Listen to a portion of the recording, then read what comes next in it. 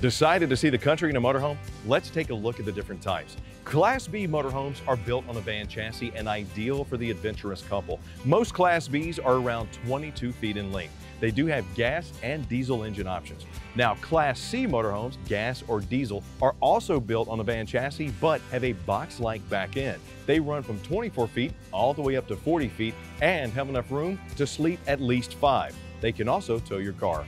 Class A motorhomes, they'll have larger and more slide outs than a Class C and range from 26 feet all the way up to 40 feet. Some are capable of sleeping eight and they can easily tow your car. But the Class A diesels, they are the motorhomes with more power and room. They run from 33 up to 45 feet. Most have multiple slide outs, luxurious features, and motorhomes start at just 321 a month. So there you have it. However you want to do your RV life, Gander RV and Outdoors has the motorized unit for you and your family.